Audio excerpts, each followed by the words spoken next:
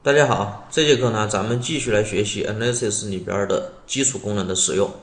那么重点的话呢，我们这一次关注在图表的右键的几个功能菜单，它们的一个作用和具体的一个用法。咱们切到 Analysis 这个界面上来，随便找一个图表，然后的话呢，右键来看一看啊，有很多很多的右键，对吧？我们呢挑其中几个比较重要的呢，再再来给大家做一个分析和演示。嗯，就要拿这个响应时间来说好了。这个响应时间，我们先把它给删掉。右键，第一个 Set Filter Group By，顾名思义啊，设置一个过滤的查询条件，或者呢，对我们的数据进行分组。点进去啊，在这里边上半部分就是设置过滤条件，下半部分就是进行分组的。设置过滤条件什么意思？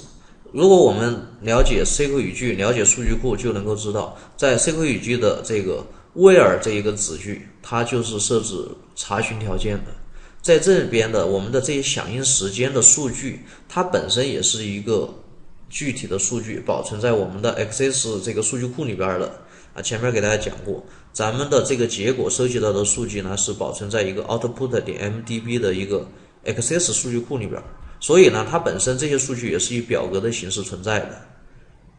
那么这些表格存在的数据，我们呢可以设置一些查询条件，比方说上节课我们给大家看到的，要不要包含想思考时间？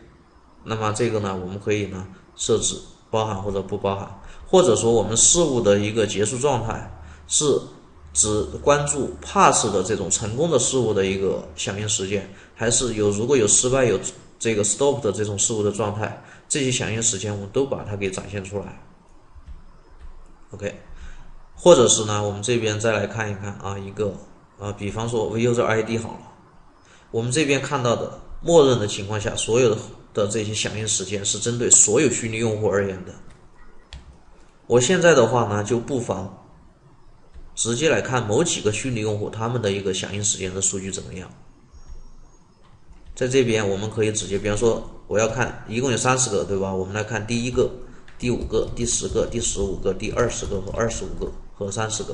我隔几个找找几个用户出来啊，隔一隔五个啊，我找一个用户来抽一下，看看他们的一个响应时间的情况啊。那么把它呢过滤出来啊，这边思考时间不包含啊，确定。这个时候我们看到的就是这些数据啊。包括这些平均值，它的核算出来的就不是所有的虚拟用户，而是我挑的那几个虚拟用户它的一个数据。OK，就这么一个道理。这是关于过滤条件的。我们呢选择默认啊，把它给取消掉，让它显示所有用户。那这边 Group by 呢，其实也同样跟 SQL 语句里边的 Group by 进行数据分组是一样的道理。我们这边事物的结束状态可以进行分组，我们的这个 User ID 可以进行这个分组。我们事物的这个层次可以进行分组啊，这种呢没有太大必要。user ID 进行分组也也没有太大必要。事物的结束状态分个组当然也可以。这样呢，其实如果说我们的事物有 pass 的，它会 pass 一个组；有 fail 的，fail 一个组。简单看一看。啊，这个时候我们的这边查询出来的都是事物是成功的事物，那么它把这些数据给查询出来。并且进行分组，但是事实上呢，由于这边啊，咱们这几个事物没有失败的，所以这边呢，其实还有如果有失败的，还有一个分组就是 home page 冒号 fail 是一个什么样的数据，login 冒号 fail 又是一个什么样的数据啊？它会继续往下走，按照这个分组啊，这是关于过滤条件和分组，我们可以用 user ID 来进行分组来看一看啊，因为 user ID 一定是存在的，我们有三十个虚拟用户，那么它就会分成三十个组。那么看到的啊，就会数据量就很多很多了，每一个事物都有三十个组。这边啊，数据啊，一片一片的，有什么意义？哎，没有太大意义啊，就是说呢，让我们能够更细致的对数据进行报表的一个呈现而已了。对分析来说，对我们找评找问题来说，没有太大的参考价值啊。也就是呢。啊，比方说我们要去做一个什么性能测试报告，弄这么一堆数据往那儿一放，对吧？这个看上去好像显得专业一点，啊，也就这么点作用了啊。所以了解一下就可以了。这边这个专业档呢，没有什么实际的用处，就是呢把某一个事物的时间单独的拎出来显示啊，没有太大的意义。好，第三个，我所以我就不再给大家去讲了啊，你们需要的话自己玩一下。Set granularity，设置一个数据的这个时间力度，默认是四秒，这个图默认是四秒，什么意思啊？我们先把这个过滤分组取消，默认是四秒，是意味着呢，就这里边大家注意看啊，这个图表上其实有不是有很多数据点吗？数据点之间的间隔是四秒钟。这边我给大家提醒一下，这个数据点啊，就这边这种正方形的小方点，它的数据是这四秒的时间段内的一个取得一个平均值，它并不是这相当于是把每一个响应时间的点都拎出来了的。我们如果把它设成一秒，我们呢看到的数据点就会很多，对吧？因为呢，它的原始数据里边有很多很多数据，它这边呢力度设成四秒，只是让我们图表看起来呢。就它通过它的一个默认设置，我们图表看起来呢比较这个这个好看一点。然后呢，要分析的话呢，它的趋势也能够展现出来。比方说，我现在把这个力度设成二十秒，那这样一个趋势时间点差别，相对每一个点的数据呢，就是它前后二十秒的一个平均值啊，取到把这个点描在这儿。但我们看到，如果设的力度太大了，是不是这个趋势完全就变了，没有任何参考价值了？那还还可以再猛一点，设置一百秒，那看到就是一条线了，啊，这个还更更没有意义，对吧？所以这边呢，这个力度基本上来说啊，每一一秒钟肯定可以的，很多点都是一秒钟都会收集到，有些一秒钟、两秒钟，如果有 sync time 的话，可能时间稍微长一点。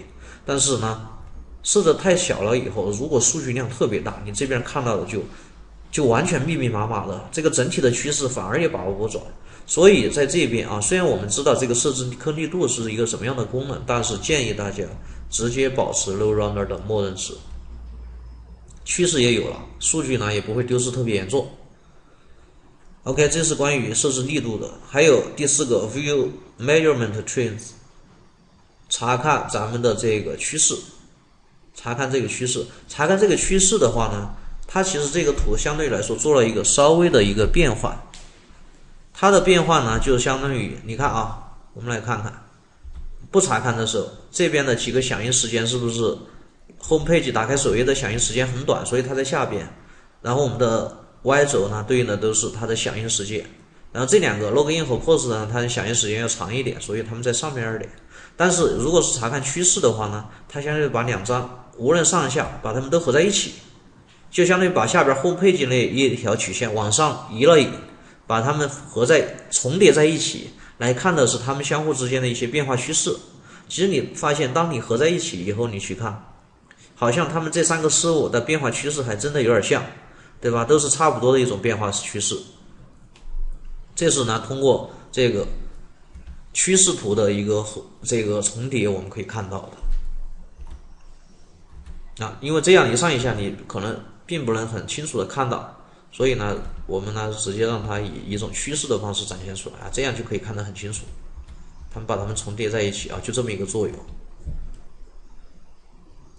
好，View Cursor 啊，这没什么实际用处，我们呢也不用忽略，直接下边 View Raw Data。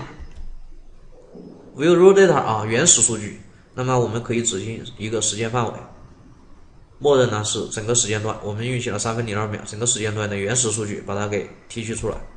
好，获取到原始数据，获取到原始数据了以后，在这边，在右右边，我们就可以看到有一栏 raw data，在这里边呢，它就会把每一个虚拟用户每发的一每一次请求的这个数据全部都给我们展现出来。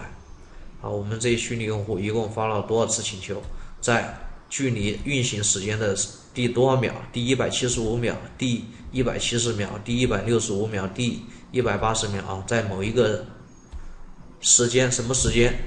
然后呢，发了一次请求，它对应的响应时间是多少？那当然，这个响应时间呢，应该是说可能包含着这个，嗯，思考时间的吧？看一看这是哪一个事物啊？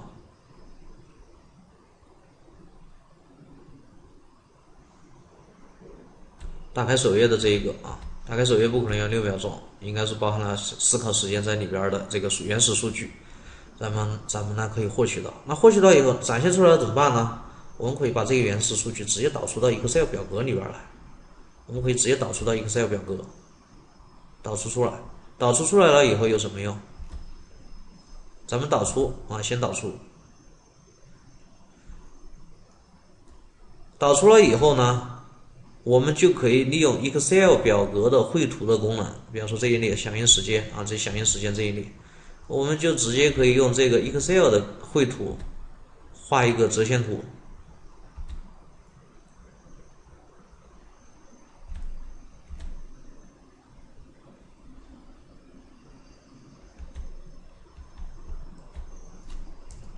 这个稍微有一点没有展示成功啊，先重新来，选择这个啊，由于这边它有一些啊，不是以数纯这数字的格式来展现的，所以我们呢，先把这个这些错误呢都先给忽略掉。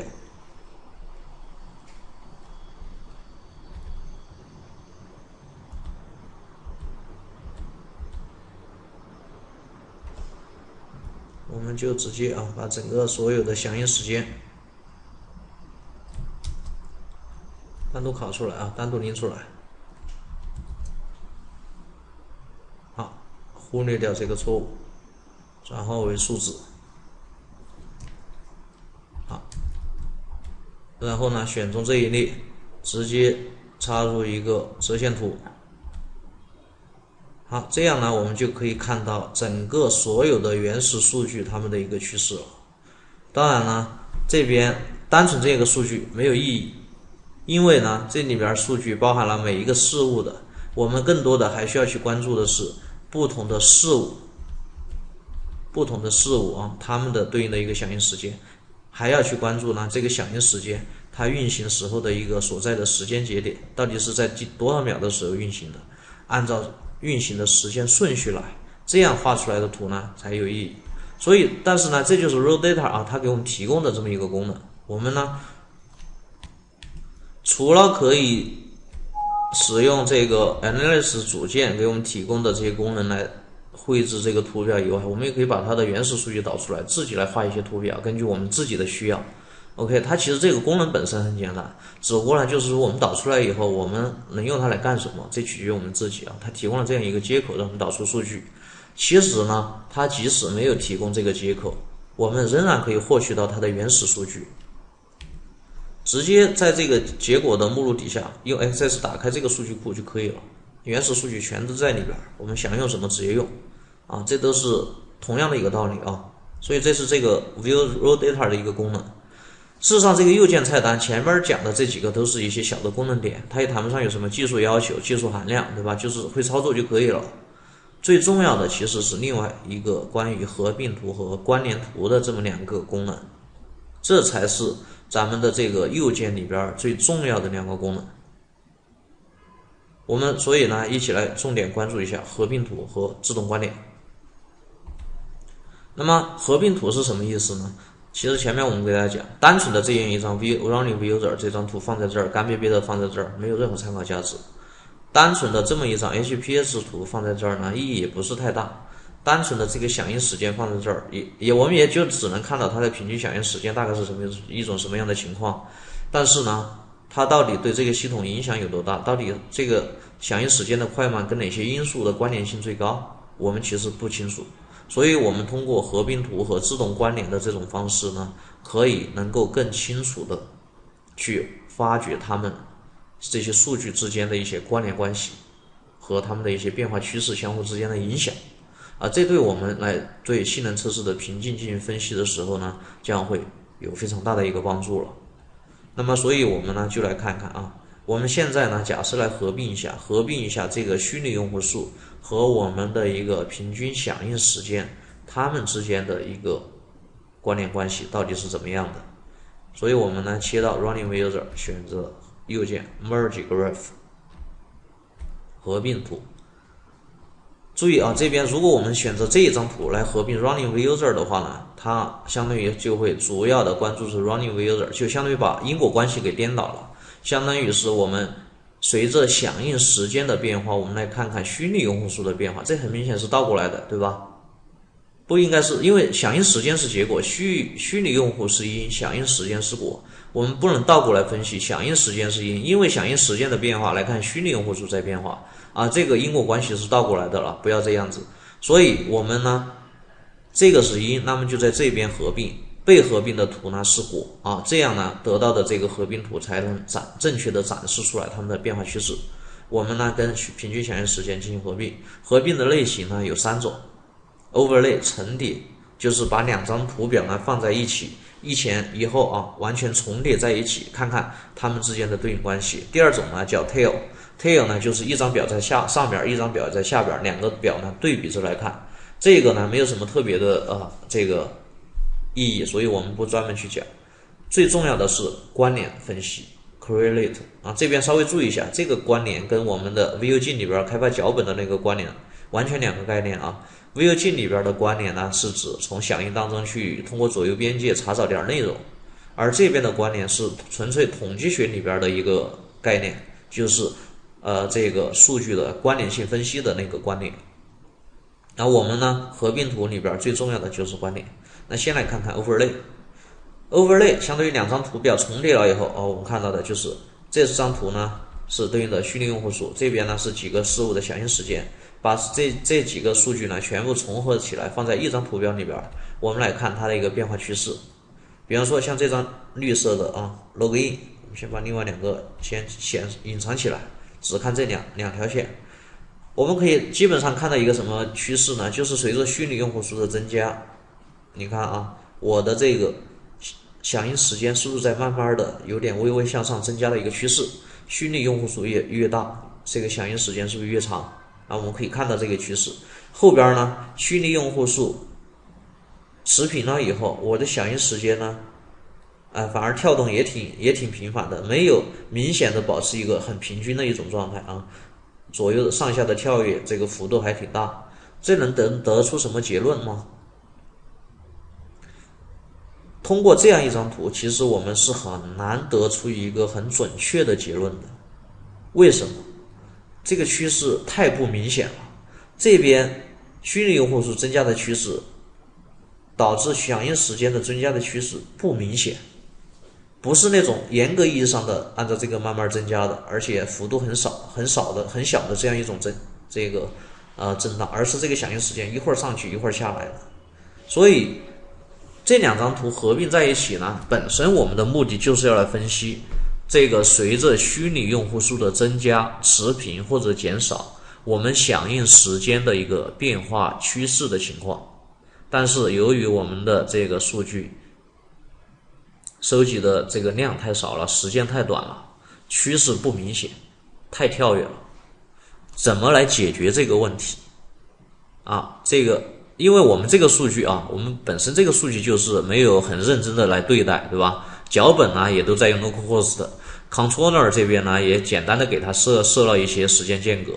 我们设的时间间隔是，比方说好像是十五秒，对吧？我们当时设的是十每十五秒钟增加五个用户，然后呢运行到这个一半的地方就开始直接就停止了，直接就运行到这个附近就三分多钟就直接停止了。根本就没有认真来运行这个场景，因为当时的目的也不是说要得出多么准确的数据，而是呢把整个流程跑一遍。所以这样的数据呢本身没有参考价值，我们看不出很明显的变化趋势。那不妨再把 running user 和我们的 CPU 利用率、使用率呢再来合并一下吧，和我们的 Windows resource 再做一个重叠的合并，来看一看这两张图能不能得出一点什么结论。找个 CPU 利用率，其他的我们先把它给隐藏起来。线条太多了，对，会影响我们的一个判断。哎，我们看到，哎，这个变化其实还挺靠谱的。虚拟用户数慢慢增加，哎，我们的 CPU 呢也在增加，虚拟用户数持平了，CPU 也持平了。但是啊，我们发现 CPU 为啥持平呢？原来 CPU 已经到百分之一百了，那最大也就百分之一百，它只能持平了。啊，但是时不时的 CPU 呢还在往下这个低了一点，哎，这又是什么原因？这个趋势啊，我们是不是就看到？大家想，你如果把两张图单独分开，你是不是根本感觉不到这个趋势有什么关联关系？但是把两张图重叠起来合在一起，你就可以看到，随着虚拟用户数增加，我的 CPU 的变化趋势是很明显的。所以 CPU 对于这个虚拟用户数量的多少影响是完全的成正比，关联关系很很高啊，这个关联相关性很强。或者说，就我们讲的，如果大家对统计学还有印象，就这两条曲线它的相关系数是很大的。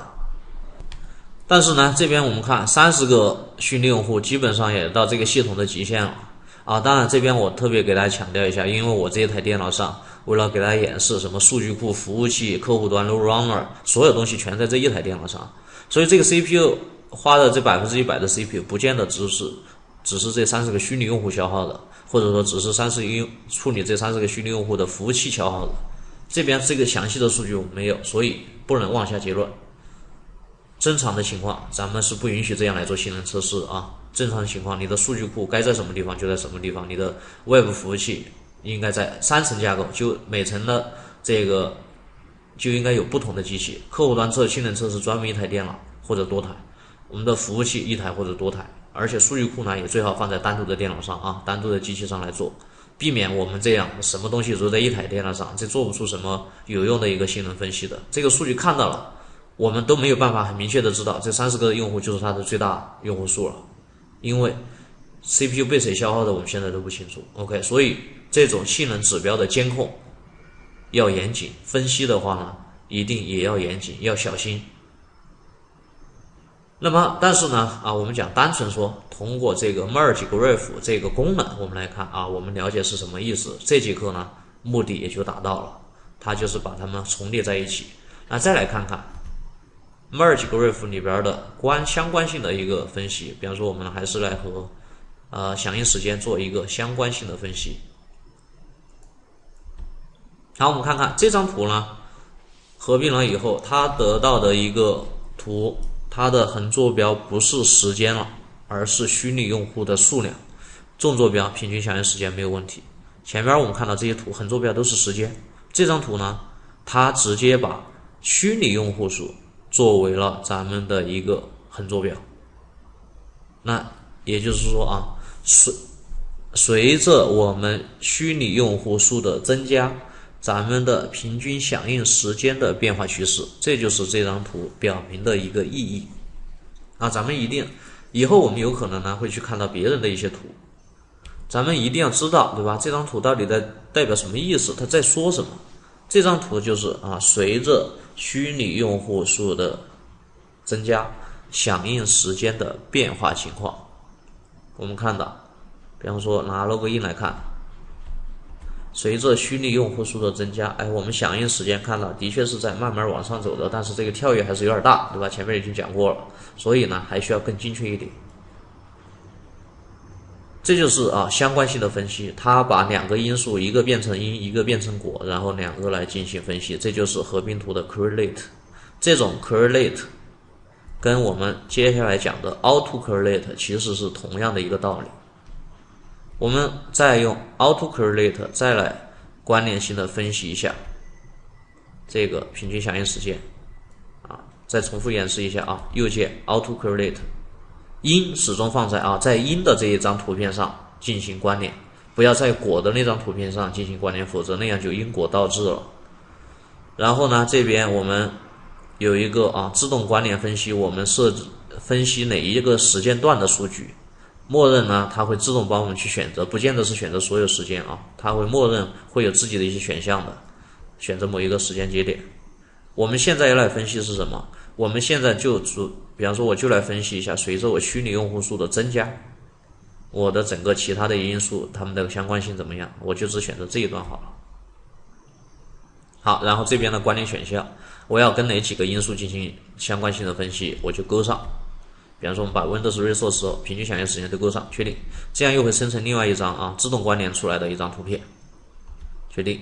好，这张图片我们看到什么呢？啊，趋势就不再讲了啊，我们会看到这张图片里边多了一列，多了一列叫做 Correlation Match，关联匹配度啊。那么匹配度越高，它自己的匹配度当然就是百分之一百啊，这是它自己。那么匹配度越高，就表明它们相互之间的影响呢越大啊，相互之间的影响越大。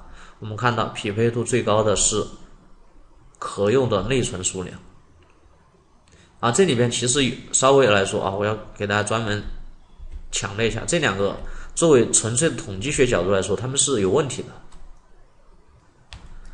虚拟用户数是慢慢增加的，这个可用的内存数是慢慢降降低的，它们这两者完全是相反的一个逻辑关系，完全是成反比的，应该说一点关联关系都没有。但是为什么它的关联匹配度最高？其实这边我们要理解啊，这个指标本身代表的是什么？可用的内存数，可用的内存数在慢慢下降，那么意味着呢，消耗的内存数是不是慢慢上升？而我们评估性能指标是评估的应该是消耗的内存数。哎，所以消耗的内存数呢，它就是慢慢的上升的过程，它们的匹配度就很高了啊。这个是反着的啊，有这个稍微注意一下。那么我们看第二个八十一的这一个，这个呢，大家就相对来说好理解一点了，对吧？这就是正常的虚拟用户数增加，我的这个响应时间慢慢的变化趋势有点关相关性比较高啊，它也在增加。但是我们这边的数据由于采样的数据颗粒度太大了，而且数据量不多，所以这个呢不是特别精确。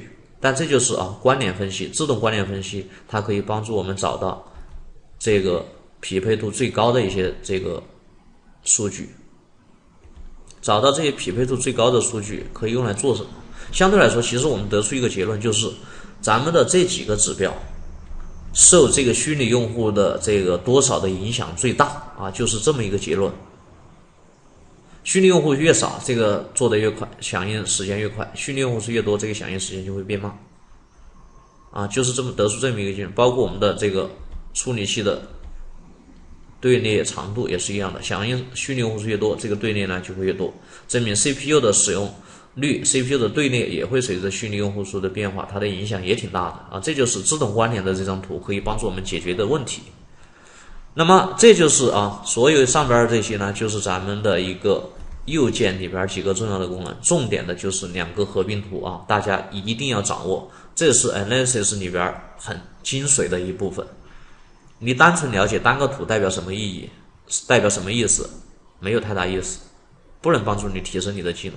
一定是把这些图表合并起来了以后，你能分析出它的规律来，这才是有价值的分析。好，那么。我们前边呢也给大家讲过，咱们的这个这些合并出来的图呢，这个变化趋势其实太乱了，趋势不是那么明显。这个怎么来解决这种问题？事实上，一方面我们脚本本身有点凌乱，呃，刚刚开始做的时候生成的这个数据呢也没有特别严谨，对吧？这个我们肯定知道，我们都知道怎么去解决它啊，因为我们只是做一个演示，所以呢比较潦草的把这个数据收集到就行了。但是你看这样做了以后，我们这些数据你到后边分析的时候你就很难受了，一点规律很明确的规律都没有，跳来跳去的，怎么解决？其实最重要、最核心的是我们在 controller 的设置这个里边设置场景的时候，坚持两个基本的原则，这样你就会发现这些。这个变化趋势就会相对来说要准确很多了。这个原则呢，主要是针对 RAM up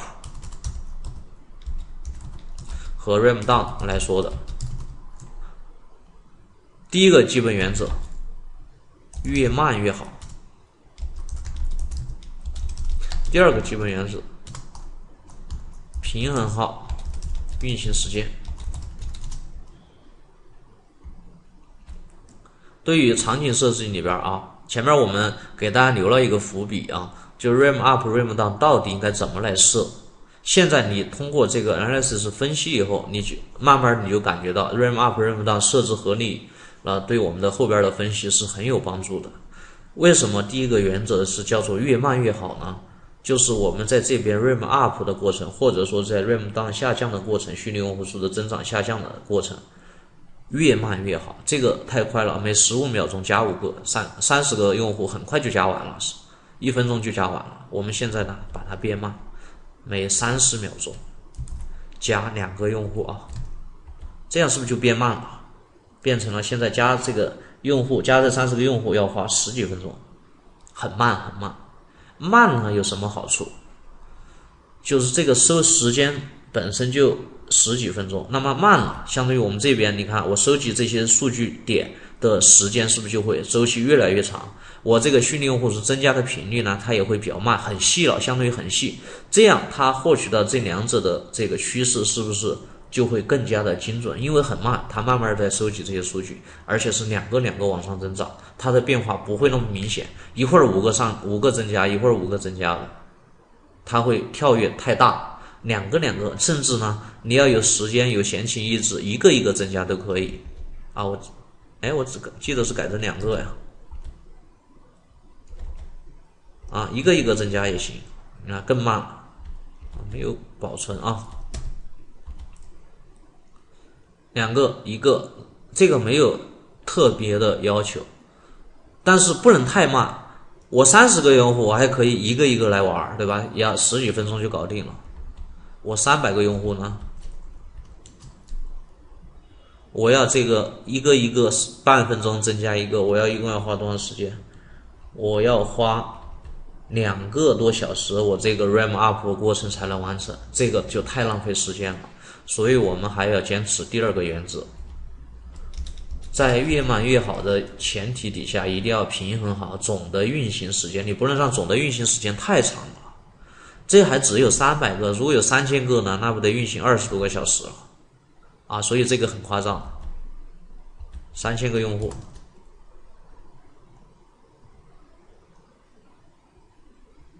这运行了一天，对吧？你一个一天你六个，一天你一个小时。二十五个小时，啊，这就太夸张了！你只有 RAM up 你就花二十多个小时，啊，没有这个必要，因为我们做的又不是长时间的那种稳定性测试，所以呢，要如果是三千个，你可以呢每三十秒增加五十个用户，